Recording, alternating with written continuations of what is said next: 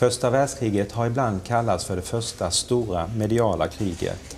För svenskt vidkommande medförde dags och veckopressens framgångar, liksom filmmediets allt större popularitet, att allmänheten under krigsåren ständigt försågs med olika mediala framställningar från världskrigets alla hörn. Avstånden krympte och kriget fördes, bildligt talat, in i den svenska vardagen. Men det fanns tillfällen när första världskriget även bokstavligt talat klev in i den svenska vardagen. En sådan händelse var krigsfång och utväxlingen mellan Ryssland å ena sidan och Tyskland och Österrike-Ungern å den andra. I folkmun är denna händelse mer känd som de så kallade invalidtågen mellan Haparanda och Trelleborg eftersom endast krigsinvalider, odugliga för fortsatt krigstjänstgöring, kom i fråga vid fångutbytet länderna emellan. Krigsfångutväxlingen företogs mellan 1915 och 1922 och sammanlagt beräknas nära 63 000 krigsfångar ha utväxlats på detta sätt. Överenskommelsen innebar i korthet att svenska Röda Korset med myndigheternas bistånd fick i uppgift att ombesörja fångutväxlingen. Krigsfångar från Tyskland och Österrike-Ungern hämtades i finska Tornio och transporterades över till Haparanda, varefter färden gick vidare med tåg genom hela Sverige ner till Trelleborg.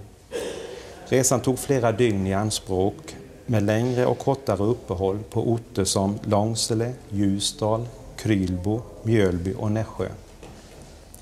I Trelleborg väntade svenska ångare som förde över krigsfångarna till Sassnitz. Vid återresan till Trelleborg medfördes ryska krigsfångar som alltså färdades i motsatt riktning till Haparanda och Tornio. De första invalidtågen började rulla i augusti 1915. Svensk dagspress var inledningsvis relativt återhållsamma i sina rapporter men när ledande rikstidningar som Stockholms-Tidningen och Dagens Nyheter några dagar senare skildrade invalidtågen i stort uppslagna artiklar med spektakulära fotoillustrationer blev uppmärksamheten desto större. Veckopressen hakade snabbt på. Ett exempel på detta är Allers familjejournal som i en av sina första artiklar under rubriken Krigets fasa på nära håll låter det uppseendeväckande fotografiska materialet dominera framställningen. Invalidtågens resor kunde även beskådas på bioduken när Svenska Biografteatern tog upp ämnet i sina veckovis återkommande journalfilmer. Av krigsinvaliderna syntes dock inte mycket till eftersom filmbolaget, sin vana trogen, valt att lägga tyngdpunkten på kungligheter och andra dignitärer som besökte tågen under de första uppmärksammade resorna. Invalidtågen och dess resor genom Sverige var otvivelaktigt ett visuellt spektakel med krigsinvalidernas sargade och lemlästade kroppar som främsta objekt. Filmbolaget Victoria tycks relativt snabbt ha insett dess ekonomiska potential och fick tillstånd att filma på fyra av de aktuella orterna. Tornio, Haparanda, Hallsberg och Trelleborg. Därefter sammanställdes materialet till en längre filmföreställning med titeln Krigsfångeutväxlingen genom Sverige. Filmen hade premiär på Brunkebergsteatern i Stockholm i september 1915 och innehöll åtskilliga scener som gav åskådarna tillfälle att begrunda de visuellt synliga spåren efter krigets ohyggligheter. Filmrecensenterna var överlag mycket positiva.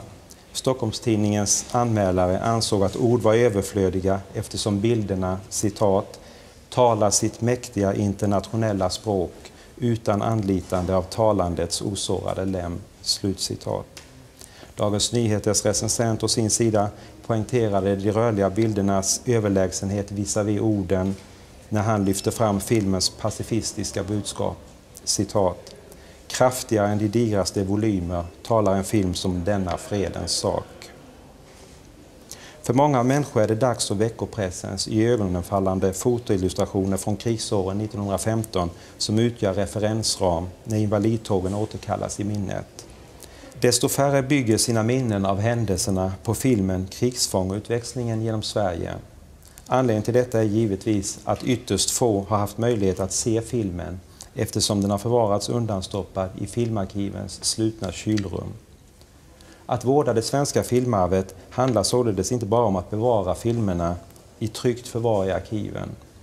Det handlar lika mycket om att tillgängliggöra dem så att de blir sedda och därmed en levande del av vårt gemensamma kulturarv. Den nyligen genomförda digitaliseringen av krigsfångutväxlingen genom Sverige gör det möjligt för allt fler att ta del av denna unika och märkvärdiga film.